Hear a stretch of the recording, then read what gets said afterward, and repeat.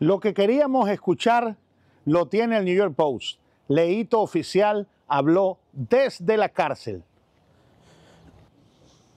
Añoro mi libertad y soy víctima de una persecución. Estas fueron una de las palabras que dijo en una videoentrevista desde la cárcel grabada donde él se tapaba el rostro, el gran Leonel Moreno, el venezolano que está a punto de ser deportado porque además ha cometido, al parecer, está acusado de delitos federales. De eso vamos a hablar en el video de hoy, así que acompáñame para seguir con las aventuras de Leito.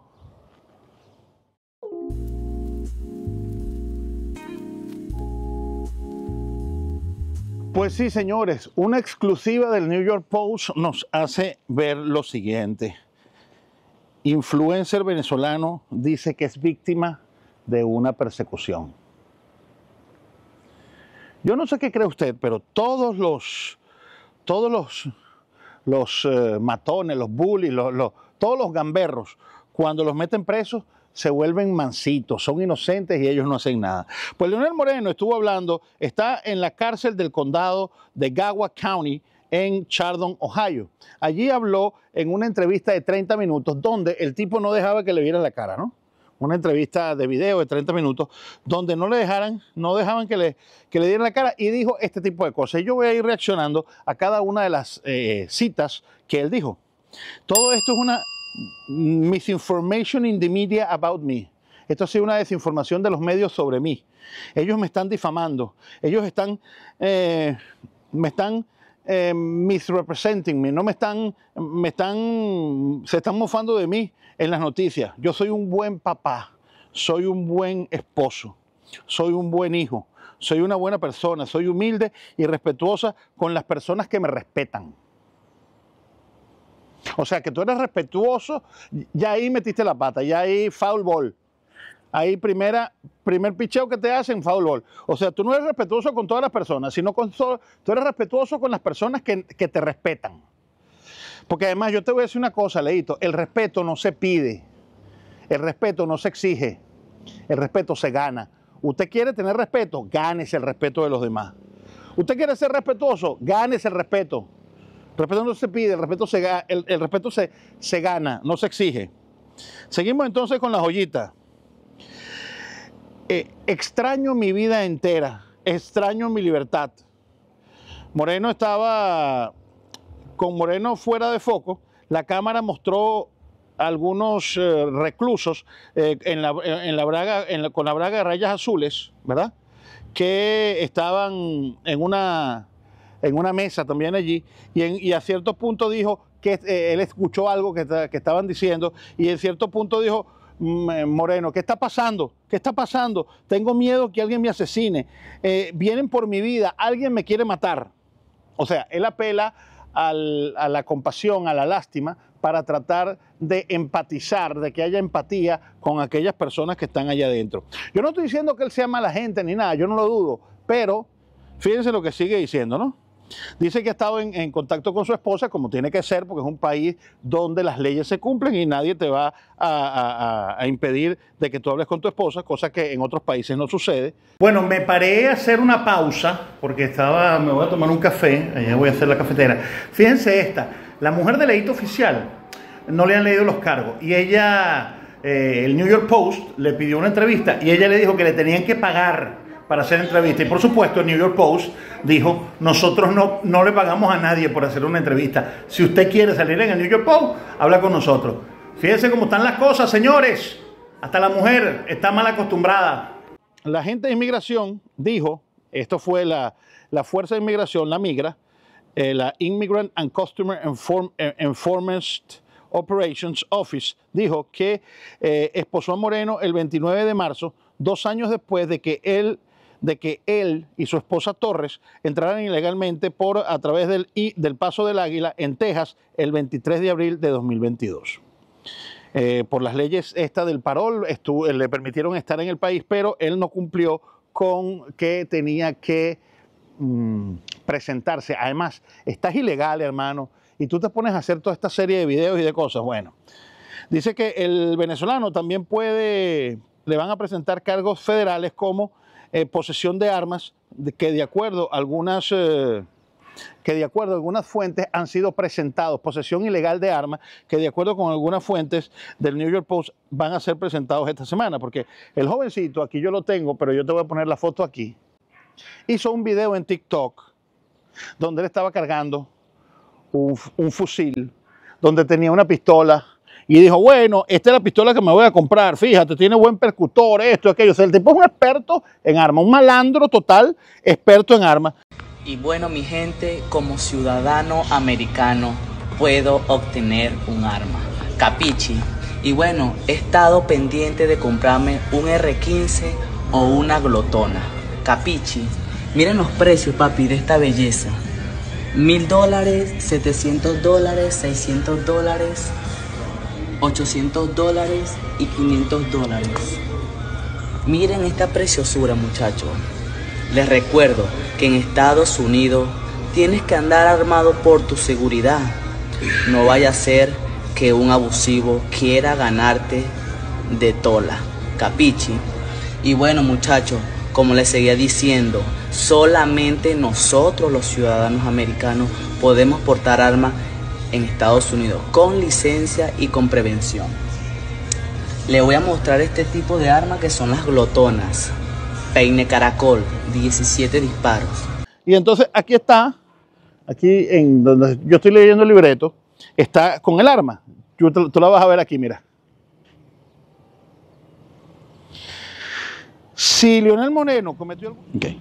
Entonces fíjense lo que él dijo, si Leonel Moreno comete algún delito, está bien, pero esto es injusto, porque este es mi trabajo, esto es injusto, eh, yo, soy, yo trabajo en, en las redes sociales, yo quiero decir algo, yo no puedo decir que vine a este país, a, a un país donde oprimían, vine a un país libre, donde uno puede expresar lo que siente en sus corazones. Estados Unidos fue creado para ser, para que tú seas libre, no para que te opriman.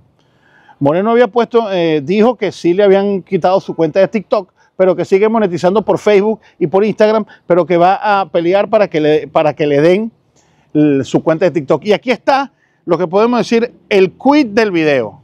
El, el gran, el gran, el, filósofo Lionel Moreno, ese tipo que tiene una empatía genial con todos nosotros los inmigrantes, dice, miren, este, miren esta perla que dijo Lionel Moreno. Yo no crucé el Río Grande para trabajar como un esclavo. O sea, yo no, yo no crucé el Río Grande para trabajar como un esclavo. Bueno, Leito, si tú sigues diciendo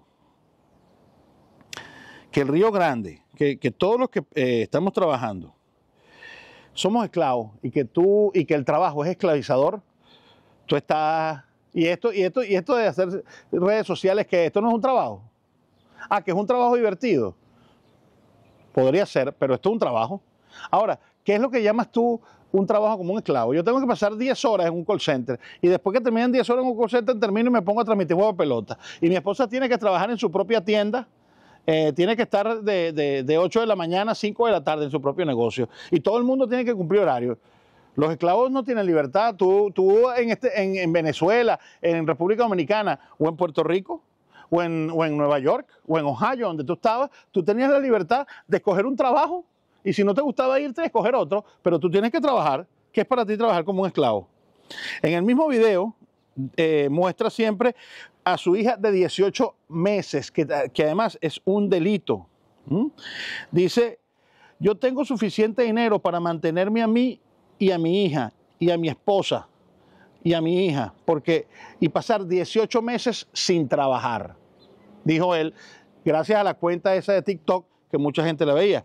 TikTok le cerró la, la cuenta de 500 mil eh, 500 seguidores, pero la de Instagram con 17 mil sigue activa. Moreno dijo, me cerraron mi cuenta de TikTok, pero sigo ganando por Facebook y por Instagram. No es lo mismo, no gano lo mismo, pero voy a, luchar para que me den mi cuenta de TikTok y poder mantener, pero yo me mantengo ganando dinero. Ahora viene el, el digamos, el sumum, el, la culmen, ¿no? Dice, la persona que está en mis videos es un personaje, no es el mismo que Lionel Moreno. Yo soy una persona diferente. No me pueden confundir uno con el otro. No pueden confundir mi personaje con mi vida real. Yo hago, oigan bien, Yo hago sarcasmo, humor negro en el vídeo. Ese es mi trabajo. Lionel Moreno es todo lo contrario. Dijo Moreno, aunque él, he refused to answer whether the personality released in the disgraceful message, he spewed on the video. Aunque, aunque se, se, se refutó, se, se opuso a, a afirmar si lo que él cree en el personaje es lo mismo que él cree en la vida real. Una cosa es leíto oficial y otra cosa es, Leo- es, es es Leonel Moreno. Es todo lo que te puedo decir. Bueno, Leonel Moreno, vamos a ser sinceros aquí. Si tú piensas que eso es humor negro, tienes a nadie le gusta. Primero, no es sati, sarcasmo, porque hay tres cosas que no sabes. No sabes lo que es sarcasmo, no sabes lo que es humor y no sabes lo que es humor negro. Tú no estabas haciendo humor negro aquí ni sarcasmo. Tú estabas haciendo apología del delito. Si bien es cierto que en Estados Unidos, si bien es cierto que en Estados Unidos hay total libertad de expresión, aquí hay más. Aquí, en República Dominicana, hay más libertad de expresión.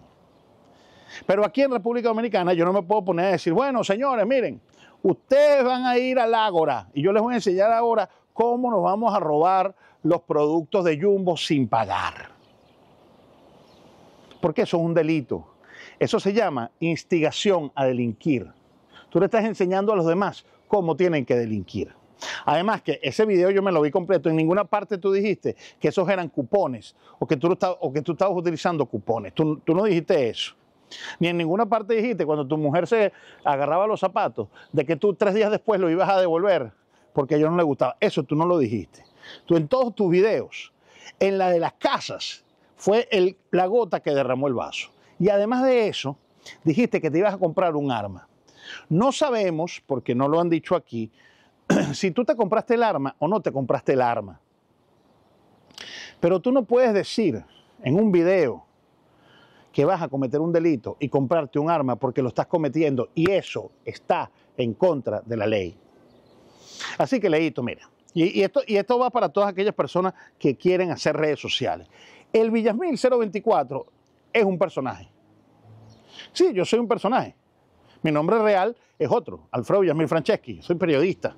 Y ustedes, me, ustedes leen un escrito mío en elemergente.com o leen algún escrito mío de los que yo hice cuando, cuando yo escribo cuentística o hago ficción. Y soy completamente diferente al Villasmil 024. Pero yo nunca voy a estar diciendo, nunca voy a estar haciendo apología del delito. Nunca voy a estar eh, llamando a la gente a que vaya a asaltar una casa. Y te lo he dicho, Leito, te lo hemos dicho millones de veces. La ignorancia de la ley no, incumple, no, exime su cumplimiento. Tú tienes que entender que en Estados Unidos hay leyes. Hay leyes, hermano, hay leyes que usted tiene que cumplir y usted no las cumplió. Ojalá todo salga bien y ojalá, ahora, con esto que dijiste aquí, yo no sé si tú tienes un abogado, pero con esto que dijiste aquí, te estás hundiendo un poquito más. Porque si bien es cierto, es un, eh, es un personaje, estabas incitando a hacer cosas ilegales. Y nunca, nunca, nunca aclaraste que Leíto Oficial es un personaje. En ninguna de tus cuentas, en ninguna de tus cuentas, se dijo que Leíto Oficial era un personaje. Nunca dijiste, mire, esto es un personaje y voy a actuar así. Nunca. Porque ahora que estás encerrado, a lo mejor puedes estar mintiendo y nadie sabe si está diciendo la verdad. Ese es el problema. Que eres una buena persona y que eres humilde, no lo sabemos. Lo que muestras en los videos es todo lo contrario. Que eres un buen papá. Yo no sé si puede ser un buen papá un tipo que está así con, una muchachita de 18 meses, mostrándola y exhibiéndola en una vitrina como TikTok y como Instagram, donde va mucha gente pervertida a ver videos. Yo no sé si mostrarla a la niñita todo el tiempo y decir que tú vives de ella, eso es ser un buen papá. Yo no sé. ¿Qué creen ustedes, amigos? Díganme lo que abajo en los comentarios. Yo no sé si es ser buena persona, decirle a todo el mundo capichi y estar, y, estar en, un momento desafiante y llamar a todo el mundo esclavo y decirnos a todos nosotros que trabajamos que prácticamente que somos unos tontos y unos idiotas. Yo no sé. Bueno, lo cierto del caso es que habló media hora leíto con la, cara tapada, está en la cárcel y ojalá salga bien. ¿Qué te pareció el video? ¿Te gustó? Bueno, viene un video del cobrador. Vamos a hablar de, de que se ha convertido en un fenómeno de los medios. Voy a Voy a tratar de entrevistarlo, no voy a hablar desde el punto de vista político, sino desde el punto de vista de su discurso y cómo me parece a mí. Así que espere ese video y tenemos un anuncio que hacer. Vamos a conocer personalmente al presidente Luis Abinader. Vamos a ver si le sacamos algunas palabras. Tengo una entrevista, bueno, una entrevista, no, un encuentro con los medios, con Luis Abinader y vamos a estar almorzando con el presidente de la República. Así que pendiente que vienen más, se vienen más videos bien buenos y viene mucha más acción aquí en el Villamil 094. Nos vemos en un próximo video y ahora sí les voy a decir como les decía antes. Listo, se acabó el juego. Chao.